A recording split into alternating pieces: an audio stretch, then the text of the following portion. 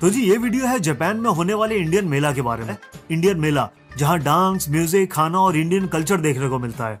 ये मेला हम इंडियंस तो एंजॉय करते ही हैं, लेकिन ये इवेंट जैपनीज पॉपुलेशन को मौका देता है इंडिया को और पास से जानने का। क्योंकि यहाँ बस आपको टिपिकल बॉलीवुड डांस और नानकरी देखने को नहीं मिलते। यहाँ आपको देखने को मिलते हैं इंडियन के ट्रेडिशनल डांस फॉर्म्स और बहुत तरह के इंडियन फ़ूड भी। देखना और कितनी खुशी की बात है भैया उनके देखो माथे पे टीका लगाया उनके लड़की के बालों पे पीछे फूल लगाए।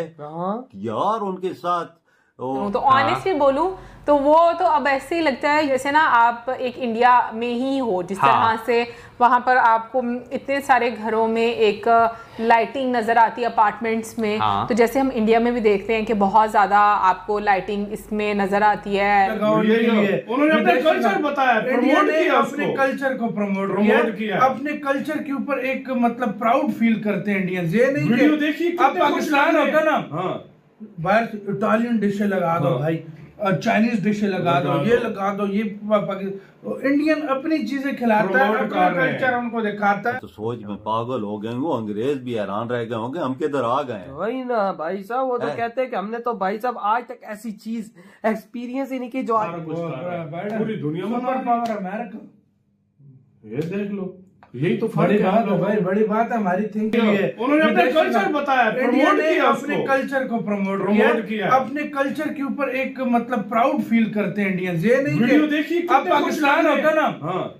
बाहर इटालियन डिशे लगा दो हाँ। भाई चाइनीज़ डिशे लगा दो ये लगा दो ये इंडियन अपनी चीज़ें खिलाता है अपना कल्चर उनको दिखाता है। अपनी सिकाफत अपनी बताता हमने एक चीज़ नोट की है हाँ। कोई बाहर का आता है हाँ। वो यूपीआई भी कर रहा है हाँ। वो पानी पूरी भी खा रहा है वो वड़ा पाव भी खा रहा है वो होली भी मना रहा है वो दिवाली भी मना रहा है वो जिस तरह से ट्रेडिशनल तरीके से इंडियन सेलिब्रेट कर रहे हैं वो भी कर रहे हैं। क्यों?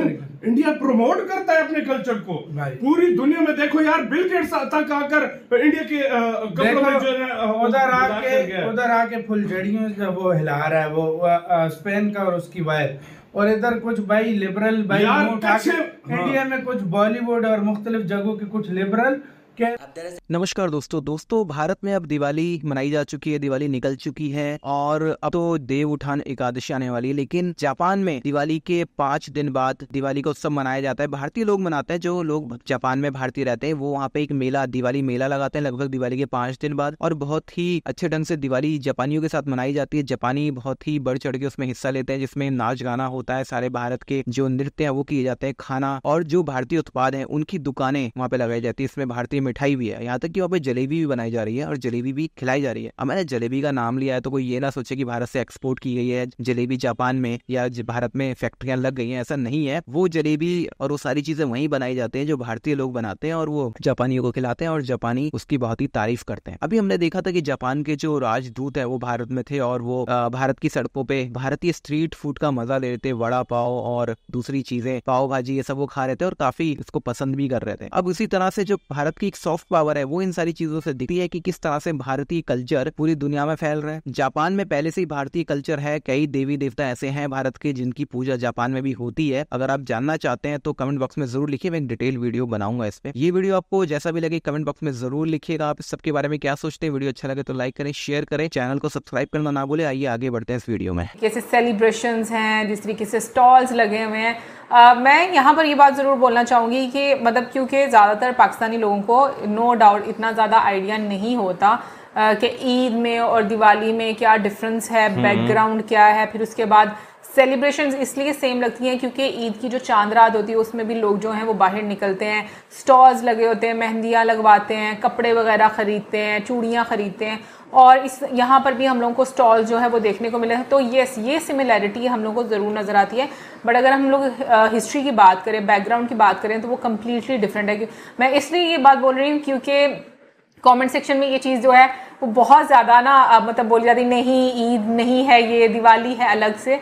तो बिल्कुल मैं इस चीज़ से अग्री करती हूँ और मुझे ये लगता है कि एक टाइम लगता है आपको चीज़ें सीखने में जैसे हाँ। जो ब्लॉगर्स हैं उन्होंने भी ये बात बोली कि उनको भी इतना आइडिया नहीं है तो ऐसा ऐसा डेफिनेटली जब वो चीज़ें सीखेंगे जानेंगे उनको आइडिया होगा कि भाई दिवाली का क्या महत्व है और इसके पहले कौन से डेज़ आते हैं और किस तरीके से जो दिवाली है वो लास्ट डे में आकर सेलिब्रेट की जाती है बाकी अगर मैं बात करूँ फायरवर्क्स की और जो आपको एक एनर्जी नज़र आती है जो वाइब नज़र आती है मतलब नो डाउट इंडिया में तो दिवाली बहुत हम्म। बड़े लेवल पर आपको सेलिब्रेट होते हुए नज़र आती है लेकिन मैं ये चीज़ देखती हूँ कि जो डिफरेंट कंट्रीज़ में इंडियन कम्युनिटीज हैं वो लोग भी बहुत अच्छे से इसको सेलिब्रेट करती हैं बिल्कुल अगर मैं जो है ना मैं वो वीडियोस जो लोगों ने शॉर्ट क्लिप्स जो आपने शेयर किए होते हैं मैं हम्म। दुबई के जो है वो देख रहा था ऐसे पूरी पूरी बिल्डिंग्स पे जो है वो लाइटें जो है ना इनके सारों ने जो रिहायशी बिल्डिंग्स थी वहाँ पर हाँ अपने अपने घर के आगे जो है वो अपनी अपनी पसंद की जो है उन्होंने लाइट्स जो है वो लगाई हुई थी